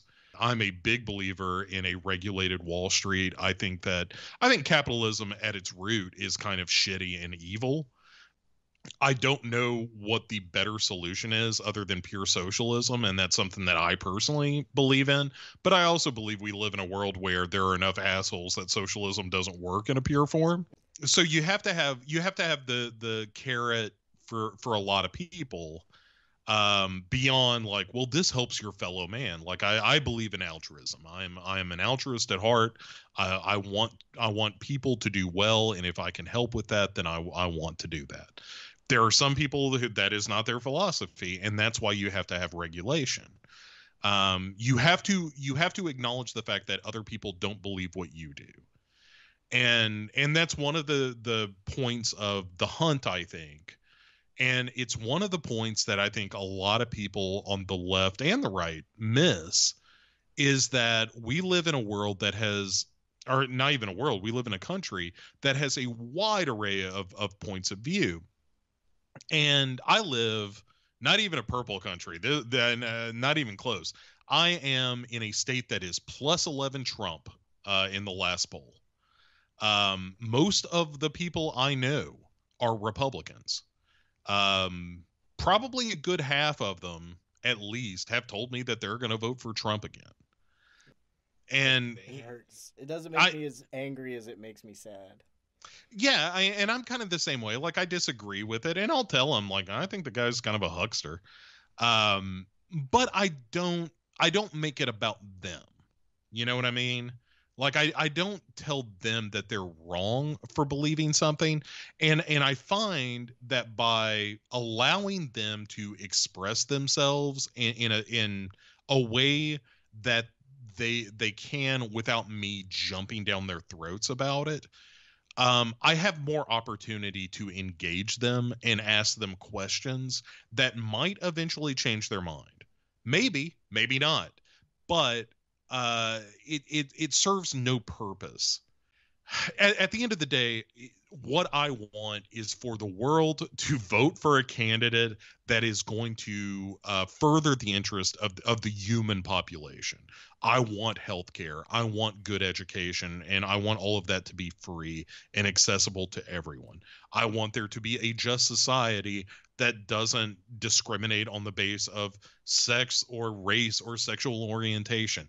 Uh, you know all those things that i hold dear those, those kind of 60s revolutionary values that i grew up with and i still believe in um, that kind of john lewis uh, you know i believe in love over hate and that you you love you love the person who hates you until they stop hating and that's how i try to live my life and and again i because i've said it i i stand by it um i i believe that i live in a world where other people may think that view is either naive or counterproductive or whatever but it's the only thing that i've ever found that works you know i go ahead i'm sorry No, no, please continue. I was just gonna say I find it uplifting because I, I'm still an optimistic person, but I'm way less optimistic than I used to be some time ago. So it yeah, uh please. Please continue to fill me with joy. Yeah, no, I mean, and it's tough. I mean, there are times when I get I get as discouraged as anybody, um, but I, you know, at the end of the day, I want those people who are voting for Trump to come around to my way of thinking, and and and selfishly, I want them to vote uh, for people who are going to further those causes. And the one way I know that will never happen is to tell them how stupid and wrong they were for doing it. You know, the the thing that I've got to do as a person, as a human being relating to another human being, is I have to say, you know what, I don't agree with that, but tell tell me why you tell me more about why you did that. You know, and I'm not going to make fun of you. I'm not going to be angry. I just want to know, like, what what was it about what Trump said? What what spoke to you? And you know, I've had those conversations, and like I said, you know, in some cases, I am making no headway at all. Uh, there are some people who are not political and just want to be part of a team, and and don't care about the issues, don't care about the fact that they're in some cases voting against their own interests and that kind of thing. And you have to kind of accept that and go on. Um, you know, you you fight the battles that make sense, right? You don't die on on the hills for you know I know a guy that is like, I am voting for Trump because I love it when he says things that piss off the the libs. And and when I say you understand, I am one of those, right? That you're you're voting for a guy that's just gonna upset me and try to make me mad, right? And uh and his response is, ah, you can take it. Um you know, like I can't do anything with it. There's no discussion to be had. It's just uh, like he's doing it for a goof, you know? doesn't care about the politics of it doesn't ever enter his mind and and no matter how much i say like well you know these decisions affect other people doesn't matter you know some people just aren't wired that way but i also have friends who voted for trump and are like you know he really fucked up this pandemic and i'm like yeah he did go on and and you can kind of coax them into that place where you can have a conversation about Trump's failings and from there you can say well maybe it would be better if if somebody else were president and and open the door to to something else. And and like I said I live in in a very red state so the idea that Joe Biden is somehow not progressive is crazy to me because he is incredibly progressive to most of the people I run into. And uh, and and and aren't like uh, still haven't come around to the idea of universal health care and stuff like that. But that but that's what you do you know? Again you you approach it with with a sense of understanding and a curiosity i find helps. Just a sense of like tell me your story. Tell me tell me what led you to the the, decision to vote for trump and and understand that i'm not going to judge you for that like I can hate Trump and and what he stands for or what he doesn't stand for more realistically. But it doesn't mean I have to hate the person who supports him. And I and and like I said, I find that supporting supporting that person and being the example being the kind of person that's like oh no you know what you know what progressive values are about? It's about understanding and it's about love and it's about inclusivity. And for me to preach that and then exclude someone because of who they voted for what a hypocrite that makes me. Um so yeah i mean I, I think you gotta you gotta talk the talk and you gotta walk the walk if, if you are saying i want to live in a in a more just society that just society begins with you being fair and equitable to all your neighbors even the ones you don't agree with and and sometimes that's hard and you know that's the hard work of it uh, yeah I, I mean good lord i am let me make it clear I am not comparing myself to John Lewis. John Lewis is an American hero. I am a schlub.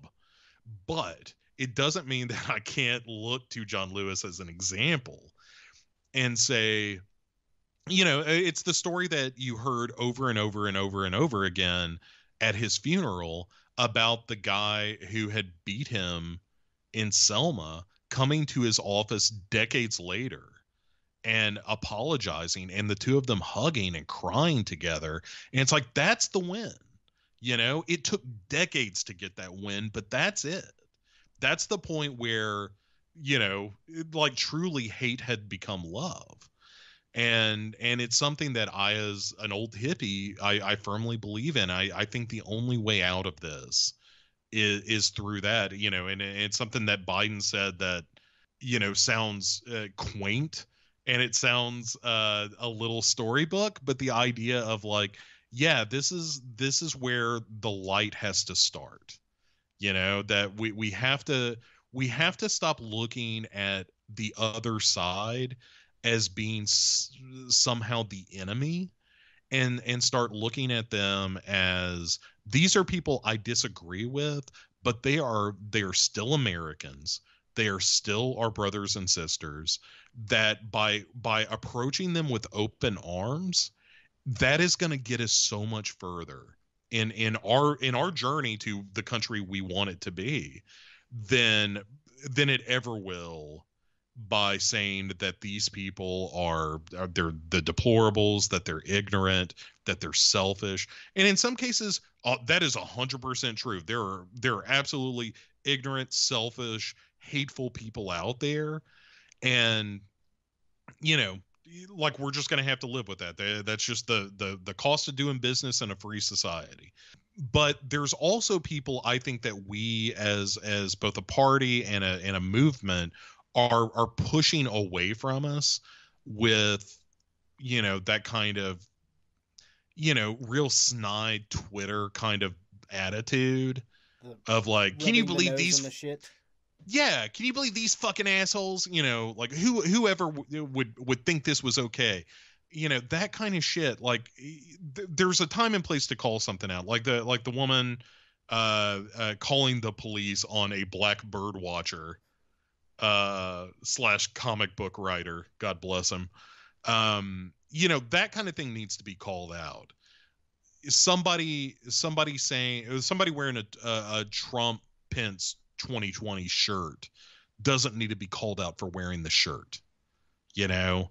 That's the that's the kind of thing you see and you let it go because again the the the thing that i think most people are missing is the this knee jerk hypocrisy of i i i cannot be tolerant of people who are intolerant.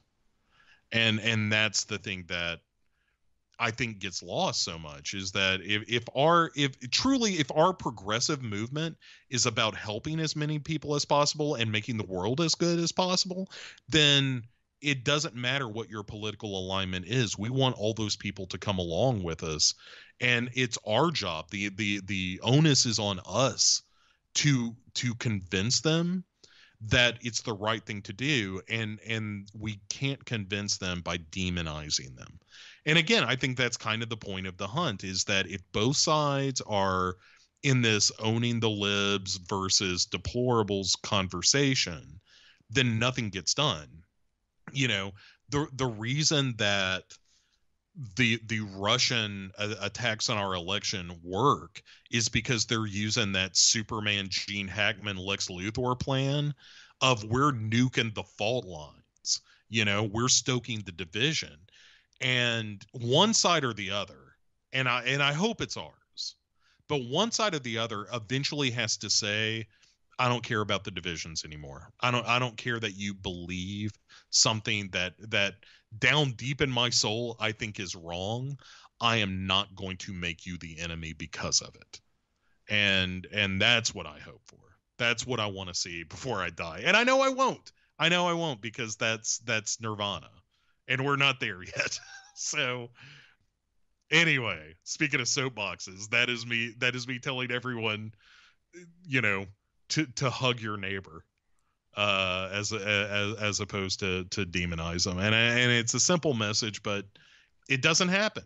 You know, it's like the thing we were taught as kids like everybody's different and you celebrate those differences and it's something that you hear on the progressive party platform all the time is uh we're we're america is great because we celebrate everyone's differences because we're all different and we come together to create a very interesting dynamic culture and and a lot of times the the progressive vision of that is well i mean of course i mean minorities i don't mean white republicans and eh, I mean, what a mixed message you're sending. Where a lot of that is just ignorance and and you know political messaging for decades.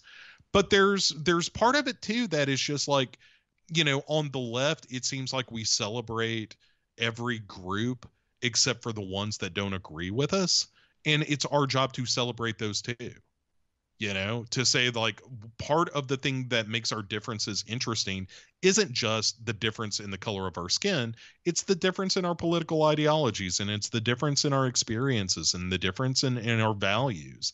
And those things are need to be discussed as as you know something that we embrace just like we embrace everything else that is different about our our you know american brothers and sisters. Um so yeah i just I, you know it's it's one of those things that maybe i am too naive maybe i am still too lost in in the 1960s um but if if you ever were going to be like what a time this is 1968 all over again and we if if if we if we could correct one mistake of the 60s it's that we don't abandon the root of our values which at the end of the day as far as i'm concerned is that we want we want to see our fellow men and women in this country do well and we love them and we want we want them to be part of a happier country. A happier country and a in a in a wealthier country and a healthier country and a less uh, a, a less incarcerated country and a, a more economically equitable country like all of those things come from a place of love where the reason that we don't want you know black black men in particular uh, thrown into jail as soon as they get out of uh, out of high school is because we believe there's something wrong about that and and because we love them because they're humans and deserve dignity and respect and we want them to have that uh, and and that should be true of of every every person, every man, woman, and child in, in this country, whether or not they agree with us, and and especially if they don't agree with us. That that we show them by our example that we're not here to get you. We're not here to own you. We're not here to show you up. We're not here to make you feel bad. We are here so that at some point in the future that we can be we can live in a country that is, is, is truly a more perfect union you know that that we can reach a place where all americans are in it for each other. And it's not something that's taught on the right for the most part. Like that's a very aggressively libertarian and and individualistic kind of political philosophy. Um and like i said i think it's our job to to to say i don't agree with that and and i don't think it's successful as a political philosophy uh, in a practical application and and then we have to show them you know? We have to show them by by being the example that we want to see.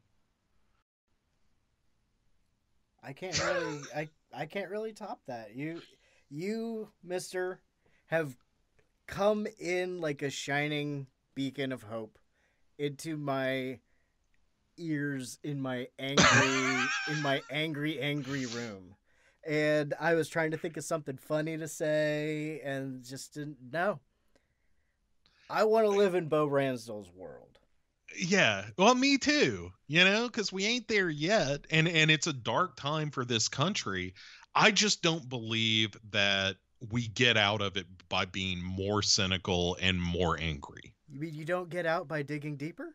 Yeah, right, right. You know, um, it's a you know I, I was talking about this earlier and um uh, when we were doing the morbid mondays and i was saying like you know some of my output like i haven't I haven't stopped podcasting or or uh, or anything over the pandemic, but there were a couple of months where my output was pretty low. Like I was kind of maintaining the pick six, and that was about it. And it, and it was because I was incredibly depressed. I was I was really um, I was really upset about the the way that the pandemic was being handled. I was I was depressed about the number of people who were dying.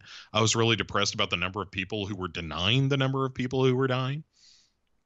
And uh, and it was really something I had to, you know, uh, in addition to talking to my therapist about it, uh, but it was something I had to kind of, you know, dig down and and and really think about um, what what I felt like the right approach was, and and how I could make it make sense for me, but also find the optimism in it, and and I, I and I think it was that. It was just like, look, you know, it is understandable when if all I watched was Fox News and then I ran into me on the street who was you know wearing a mask was really like hyper aware of social distance and and being concerned about that kind of thing and and I would think I was an idiot too you know if I were the Fox News version of me because that's all I'm hearing and and so I think we have to shift the blame where it belongs. We can't blame the person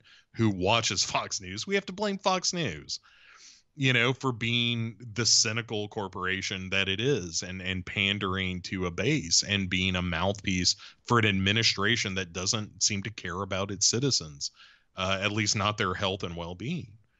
And you know, and, and that's what made sense to me. And, and and again, we are not there yet. We do not live in Bo world, but um i i like i said i think the way to get there is uh is by evaluating ourselves as a progressive movement and trying to figure out why it is more people don't go along with this because if on paper they should you know like if you if you it and it and statistically it holds true that if you just tell someone without any political labels the policies of the progressive platform they support that in the majority.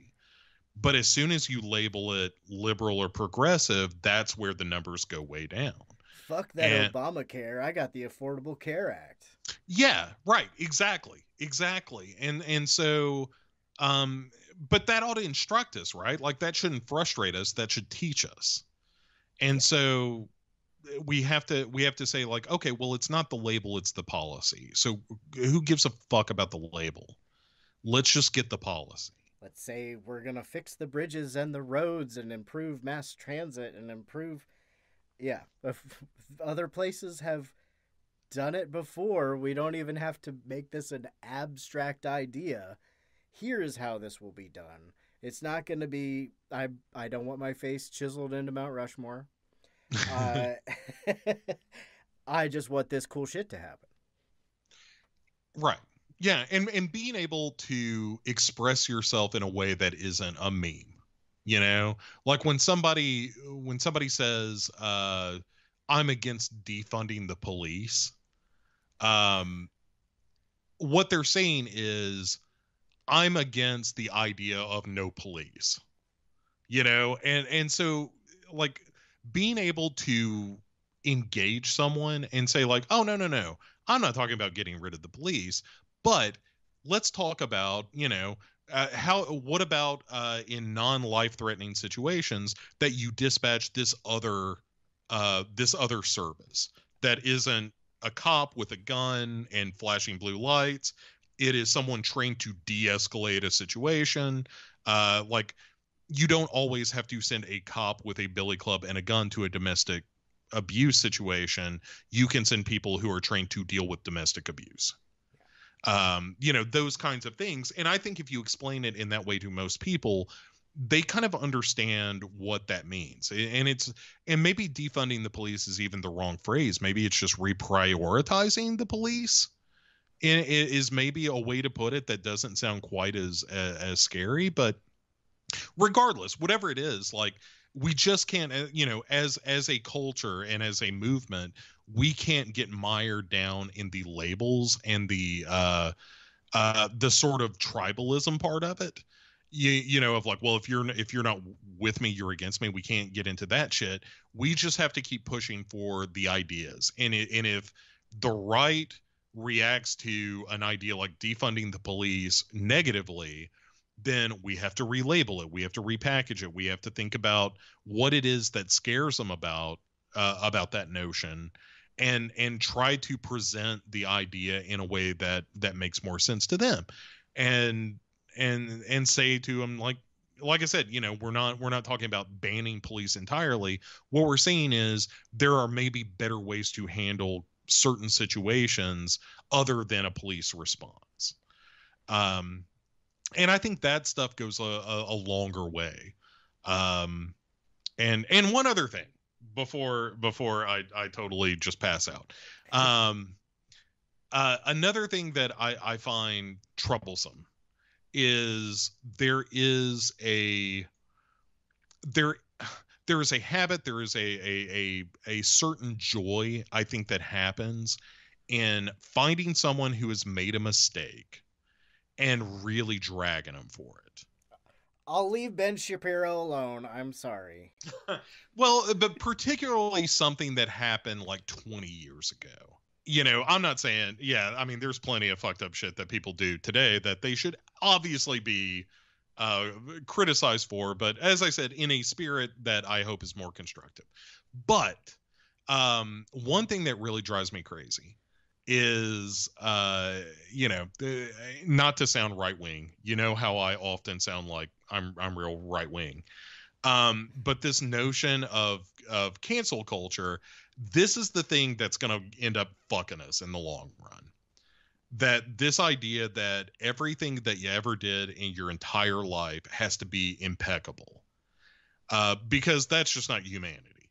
Like we fuck up, we make mistakes. And further, sometimes it wasn't even a mistake, it was just what the world was at that time.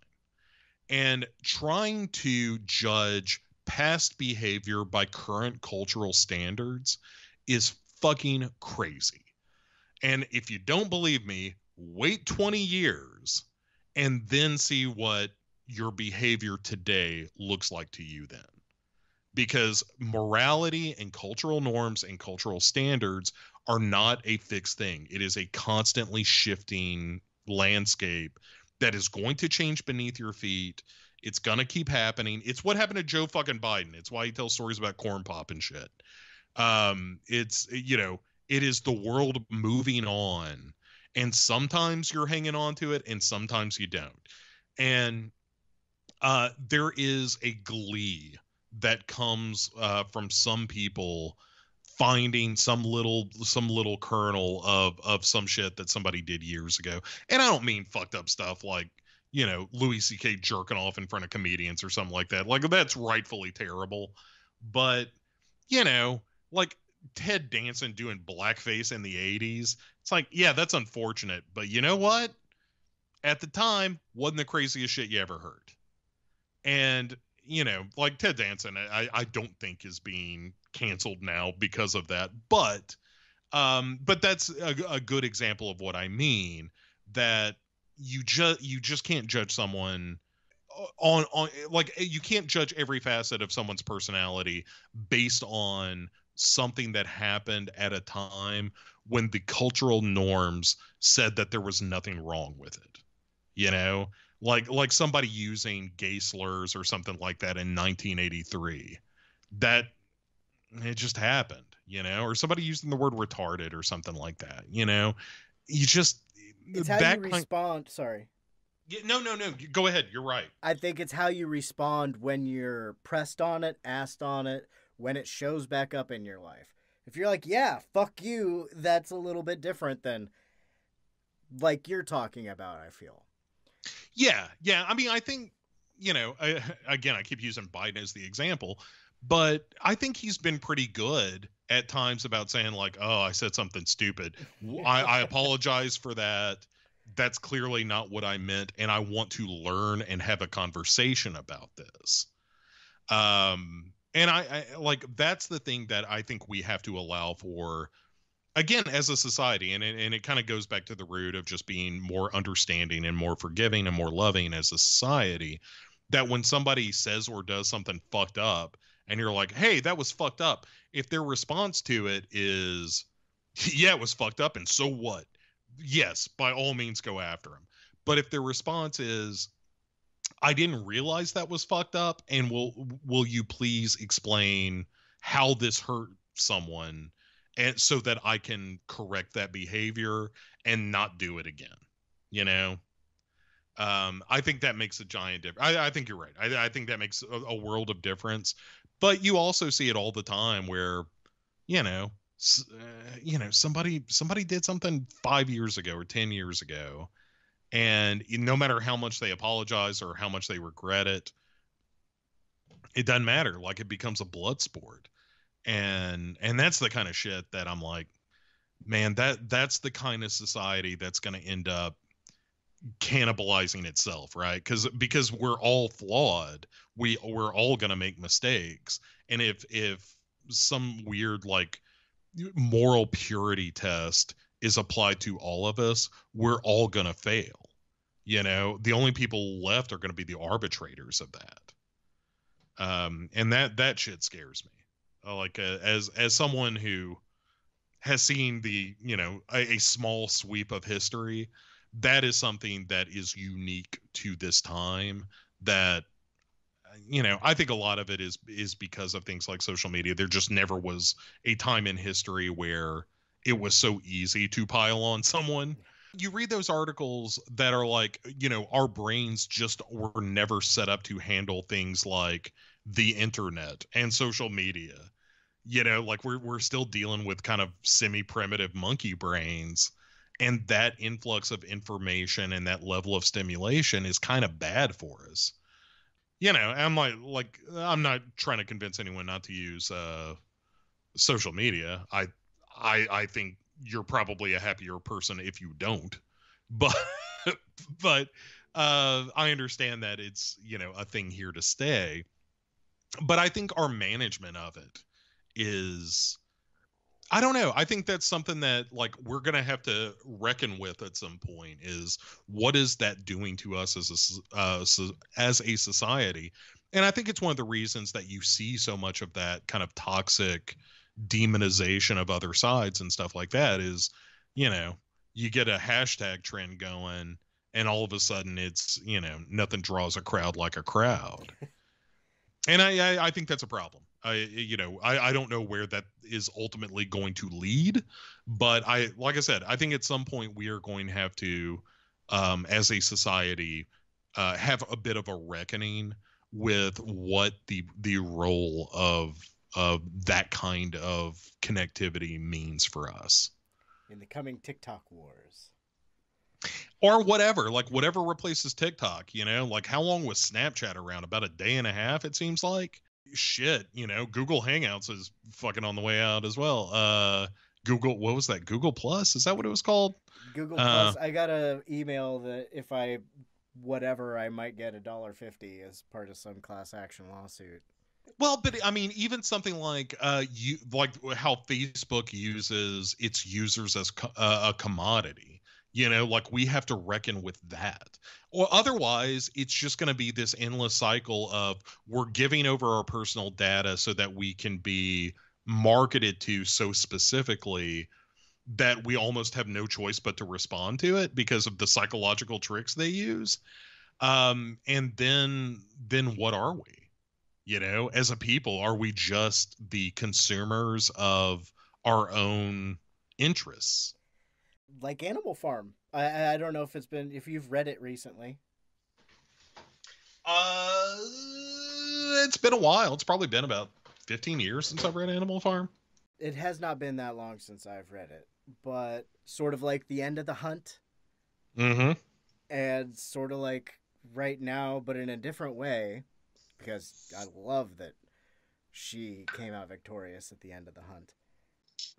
yeah, of course the world you're talking about where just the shit isn't is cycling in the bad as you turn into with like Facebook and the corporatocracies or whatever dark cloud that nothing is turning into at this moment there are you me many many many more people and that's why we're socialists is that we're the horrified farm animals looking in the windows and the pigs are you can't tell the pigs from the people Yeah. Yeah. Yeah. It, it- like I had a real problem for a long time with Amazon. Um not not as a company, although, you know, I've got plenty of problems with the you know, the fact that they have almost single-handedly destroyed small business, but um but I was part of that, right? Like I was I was one of those knuckleheads that was like getting Amazon packages like 2 3 times a week, just buying all kinds of stupid shit. Cuz it was easy. You know, it was easy and and Amazon knew the kind of shit I was looking for and and would you know recommend like hey you bought this movie how about this movie? It's like you know what? I've never heard of that movie but i should probably buy it. Um you know and whatever it was like all kinds of stupid shit like i said and i really had to you know have a, one of those looking in the mirror moments of like i am just buying to buy i'm just being a pure consumer you know of of media and and items that i don't need I don't necessarily even really want them. You know, it it's just this it, it it was the cycle of it, you know? And um yeah, it's it's weird to think that like that's only going to get worse. You know, we're only going to be giving more of ourselves online and all of that stuff is going to be used to continue to market to us so that we continue to consume, you know, and we become that they live culture.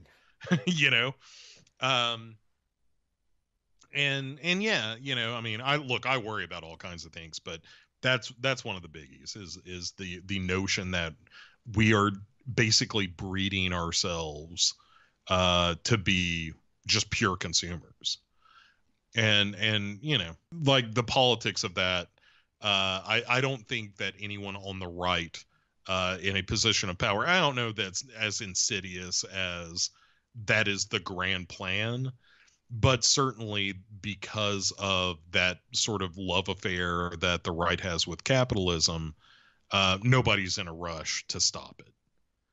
And you know uh, again in my hippie utopia uh, at a certain point like eh maybe maybe you don't need a giant website where you can buy literally everything.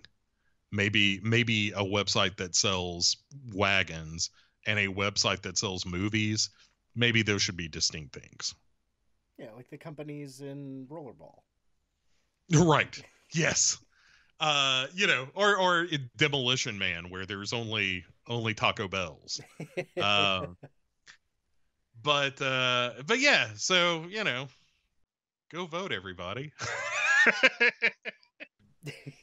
Yeah we have found ourselves at the end of the hunt. Yes. Well have we i mean well. at the end of the movie yes but as a society aren't we just in the midst of it much so mm, Mm. hmm Hmm. Hmm. Hmm.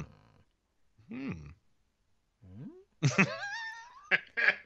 but uh man i look i first of all let me apologize to the listeners uh for just spewing uh my my political and moral philosophy but uh if you are interested in joining my cult the membership fees are reasonable and we have nice robes It doesn't hurt to give a little bit to Legionnaires Relief on your way in.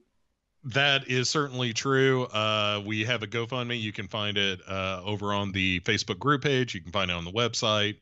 Um, we are we have we've been able to uh, you know I didn't send it to you guys. I should have, but I've got my uh, Lambda Legal uh, stickers um, from our our support of that organization as well as um, we supported that. We supported the Atlanta Small Business Owners Fund um, which most recently um, I got a, a notice that they were um, they were expanding. They were they were uh, offering some small loans for people to start businesses now. Nice. Uh, yeah, right? And uh, as well as being able to, you know, help a few individuals directly. So, um, and the the only reason we can do that is because uh, good people like uh, the ones listening to this program who, uh, speaking of altruism, in a time of of economic uh, turmoil, um, took it upon themselves to contribute some of their hard-earned money so that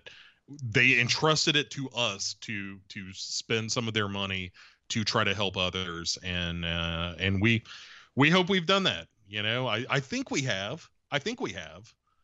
Um Every little bit.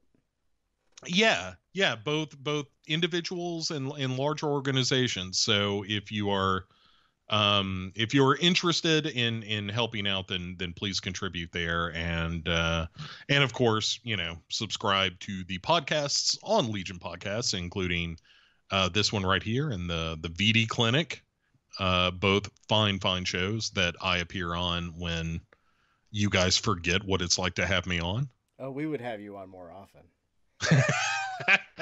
yeah, it's it's like that's really me. Like the the fact that I just come on BD Clinic to talk about murder is, You need it every once in a while. you know, it can't all be love, uh, Daeron. Sometimes it has to be, uh, you know, bondage and bloodletting. Um, which is the name of my first album. It's a prog rock album. I think you're really gonna like it. Nice. Also found on Legion, legionpodcast.com. That's right. Uh, you can find everything on legionpodcast.com. Uh, speaking of being a consumer, uh, check out our merch page where you can buy a, uh, a Legion podcast t shirt inspired by the Grizzly film poster, uh, which is maybe my favorite thing we've ever sold. I need to check that out. Today's stammering by Daeron has been brought to you by I don't know how many cups of coffee drank out of my Legion mug. Nice. Yeah, Legion mug, man. I got I got one of those too. That's all right. I like that mug a lot. It's in heavy rotation. Yeah, I that one, and I've got one that an old girlfriend gave me that says "I have a thing for you," and it's uh the thing uh being pulled apart, like the thing head separating, uh with some hearts around it. Oh, So- nice. Yeah, she was a good gal. coffee is good. People can be good. Yeah, at the end of the day, like you know, it- truly that is that is my overarching philosophy is that even when people don't agree with you, it doesn't mean they're bad. It just means they don't agree with you. They can still be wonderful people. Like I said, I I, I have no choice but to live my life in such a way that I have very dear friends who I disagree with politically completely more more than uh, I, I I thought I could and uh, it but it doesn't mean I love them any less. You know, just means we don't agree about some things. Yeah, you know, like people uh, continuing with my half-ass coffee analogy. I prefer my people sweet and fresh rather than ground up and in my freezer. You know, depends on what you're cooking. Uh, yeah, I don't know where I'm going. I am, I am getting delirious from all of this shocking optimism you have thrust in my face, sir. Yeah, I mean, but but honestly, like. It, if everyone believed this, Daeron, if everyone adhered to this philosophy of just thinking about the other guy just a little bit more, uh, sorry to dip into my Jimmy Stewart, but that's exactly where I get that. Um, that i- i- if we all just gave each other the benefit of the doubt, if we all just cared about each other just a little bit more, just a little bit, not a lot, just a little bit, uh, we we could be in something like heaven. There you go. That is a much more eloquent way to say put your money where your mouth is instead of your mouth where the money is. I mean, look, I'm not saying a blowjob ain't friendly. That's why I never understood cocksucker as an insult. Yeah, no, I mean that to you're in a pinch. A cocksucker is going to save your life. Oh, we're getting ridiculous. Thank you. Do you have anything else you you wanna you wanna talk about? Uh, I'll tell you. Let me let me pimp uh, Pick Six Movies one more time.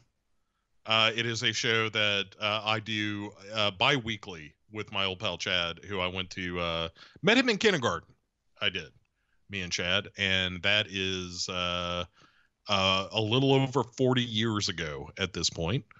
and uh, we've been friends uh, all our lives, and we we talk about movies in a way that I think is very entertaining and very funny. And I gotta say that the last season we did uh, on television uh, shows that were turned into movies is maybe um, some of the finest podcasting I've ever done in my life. I almost bought Dukes of Hazzard to see if it was as bad as you It's said it so was, bad. but I didn't know if I wanted to spend the five dollars. don't don't it's it yes it is as bad as we say it is and we made it way more entertaining than it really uh it really is as a film episode one uh james bond in goldfinger is Ooh. the the first episode of the next season Coming out strong right out of the gate. Uh-huh stink finger that's a preview of a joke i'm certain to make on the episode And until I listen to it, I'm just gonna fill my phone up with weird pictures that I think I'm gonna manipulate around what I think you're gonna be doing. perfect And, yeah. Uh, Because yeah. I enjoy. I enjoyed propaganda. just as Uh, much as anybody. Yeah, I mean, who doesn't? If uh speaking of Orwell, uh, you know, who doesn't like a little propaganda? Keeps the days warm when Napoleon has taken all of your eggs and drank all your beer and stolen your dogs. And sold Boxer to the knackers. Boxer to the Knackers, my second prog rock album. Don't forget to fucking duck and cover, everybody. Thank you, Bo. I'm glad we got to catch up. I don't know if you have to go right now, but uh, we will say our true goodbyes off the air, so it's just us between friends. That's right. Everybody else gets the they, they they get the public stuff. In private, we get all sexy. We're gonna, yeah. It is truly after dark now. That's right. We've got some things to discuss. Go watch The Hunt if you listen to this whole fucking thing and you haven't seen it. Go watch The Hunt if you've watched it but it haven't watched it recently. Put the duct tape on the windows, duck and cover. Watch out for those windmills. I hear they kill all the birds. Uh, I don't even know. Biff has the almanac. Biff still has the fucking almanac. Save us! it's your kids.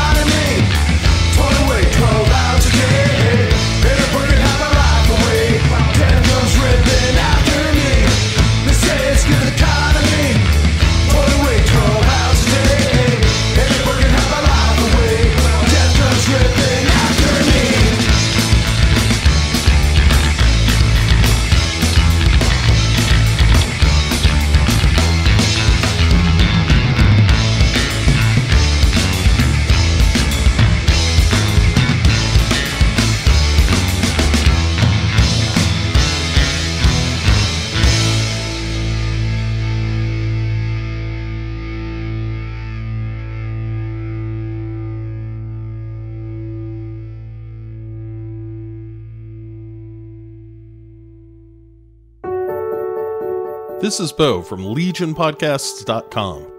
Hey, it's been a crazy time, and when the world gets nuts, we're happy to offer some old fashioned podcast entertainment. But for some folks, getting a laugh out of a show isn't really helping these days. People who depend on tips in their bartending jobs or have been put on furlough with no pay till the worst of this coronavirus threat has passed. That's a tough spot. That's why we set up a GoFundMe for members of our community, a sort of grand scale take a penny, leave a penny. For people like myself, for whom the recent disruptions haven't kicked us out of work, well, we can drop a few of those extra pennies in the GoFundMe jar. For those who are directly affected by recent events and find themselves looking for money to pay the electric bill or keep the water on, well, how about you give me a shout at bo, B-O, at legionpodcasts.com. Let me know the situation and what you need, and we'll do our best to make life a little easier. And you can find links to the GoFundMe on the front page of legionpodcasts.com, on our Facebook group page, or on Twitter at Legion Podcasts, where it's the pinned tweet. For those of you who are able, thanks in advance for chipping in. And members of our community who need a hand, hey, here we are. Remember, stay safe, stay healthy, and we're all going to get through this together. Legion isn't just a name, it's who we are. Thanks for listening to all the shows here on Legion Podcasts, and we'll talk to you soon.